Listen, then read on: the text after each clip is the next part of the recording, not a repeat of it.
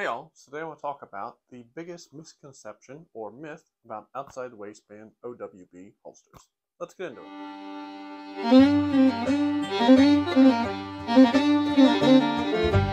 Now, if you like this content, like, sub, shares, all that, I really appreciate it. Also down below, coupon codes and merch that help support the channel. Also, thank you to everybody who has subbed. I'm up to 3,000 subscribers. Pretty awesome, so thank you. Now, what am I talking about? What is an outside the waistband holster? I'll be brief because, you know, most people know. This is an outside the waistband holster. It goes on the outside of your body, usually on the outside of your pants. Um, this is from 1791, but this is a outside the waistband holster for a 1911. Um, there's many different kinds of outside the waistband holsters. This just happens to be one kind. Uh, but it's basically the direct opposite of an inside the waistband holster, which is one that goes inside your pants or inside your waistband. Um, but what is the biggest misconception? So I do a lot of posting, you know, what I'm carrying, all that back and forth. And it never fails that uh, because I use a lot of outside the waistband holsters, that someone will come along and basically be like, oh, hey, that's nice, but I don't really like outside the waistband holsters because I don't open carry. Basically, some people are of the belief that an outside the waistband holster like this means that you have to open carry. It means you cannot conceal it unless you have something tucked inside the waistband. And, well, I'm going to show you how that's not really true. Now, I'm standing here, right? T-shirt, Hawaiian shirt, pair of shorts, right?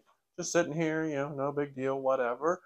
But if I pull my shirt aside, you'll see that I'm carrying Colt Delta Elite and two spare mags and perfectly concealed. Now, obviously, this is a big full-size gun, so it's not, you know, bulletproof as far as concealment, but unless you're uh, planning on sneaking into anywhere you're not supposed to have a gun, this is more than adequate. This is absolutely more than adequate.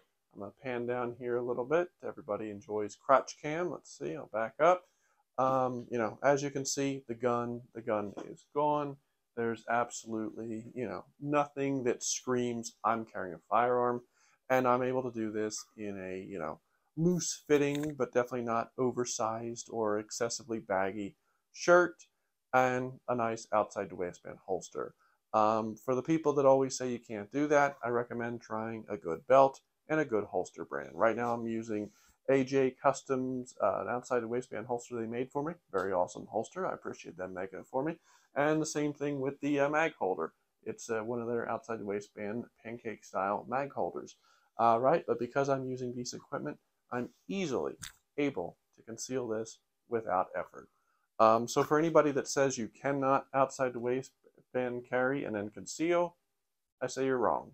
I say you can do it easily without issue. Um, but again, if you're looking to do, if you're looking for a more comfortable way to carry, you know, that's less effort, because let's face it, inside the waistband, especially depending upon the holster, can be very uncomfortable. Um, consider outside the waistband. Get yourself a good holster, a good belt, and you won't have any issues. But down below, what do you think? Do you carry outside the waistband and conceal it without issue? Or is it just not for you? Put down below what you think, and have a good day.